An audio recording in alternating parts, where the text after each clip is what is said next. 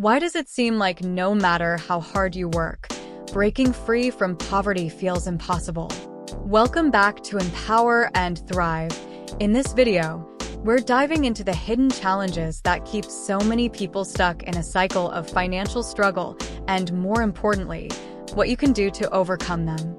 We'll explore powerful strategies for escaping poverty traps, including how to invest in your education, build financial literacy, and create multiple streams of income. If you're ready to take control of your financial future and break the cycle for good, stick around. You won't want to miss this. Poverty traps are situations where a person's financial circumstances reinforce themselves, making it difficult to escape poverty. These traps can be tied to various factors, such as limited access to education, lack of job opportunities, or poor health.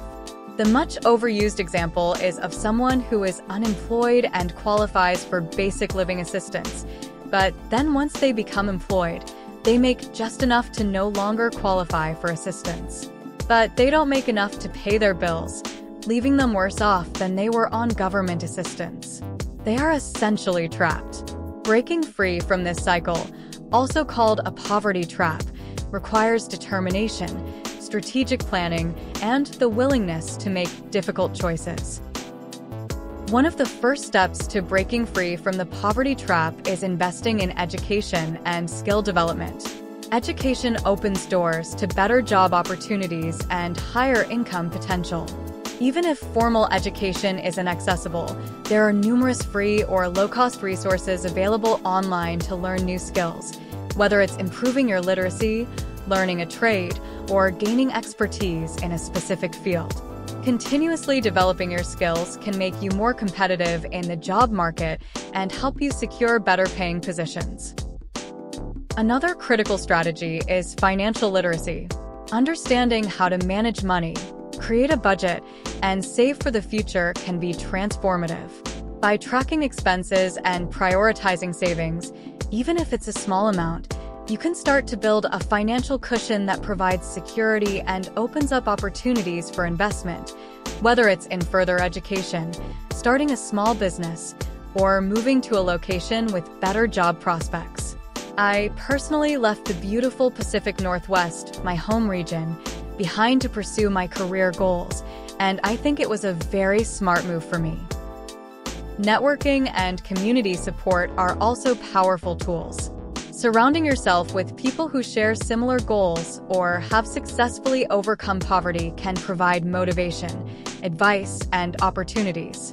Joining community groups, attending local events, or participating in online forums can help you connect with others who can offer support or even job leads. Mental resilience is another essential factor in overcoming poverty. The journey out of poverty is often long and filled with multiple setbacks. Cultivating a mindset of persistence and optimism can help you stay focused on your goals, even when the path is challenging. Practicing mindfulness, seeking support from friends or mentors, and setting small, achievable goals can keep you motivated and on track. Breaking the poverty cycle also involves taking proactive steps to improve your health and well-being. Poor health can be both a cause and consequence of poverty, so prioritizing physical and mental health is crucial. You don't need expensive gym memberships or fancy diets to do this. Start with simple, low-cost options Incorporate more fruits and vegetables into your meals by shopping at local farmers markets, growing your own if you have room, or even going to a local food pantry. For exercise, try walking, jogging, or following free workout videos online. These small, accessible changes can improve your overall well-being, making it easier to maintain a job and manage stress. Lastly, creating multiple streams of income can provide greater financial stability. This could involve taking on a part-time job, freelancing, or starting a small side business. Diversifying your income sources can reduce the risk of financial instability and provide more opportunities to save and invest in your future. Just make sure they are legitimate sources and don't fall into any get-rich-quick schemes or anything that is too risky. Understanding the challenges of breaking the poverty cycle is the first step toward overcoming them. By focusing on education, financial literacy, and taking proactive steps to improve your health and income, you can pave the way to a more secure and prosperous future. Thanks for watching Empower and Thrive. If this video gave you valuable insights, be sure to like, share, and subscribe for more content designed to help you take control of your financial journey. Until next time, stay determined and keep thriving.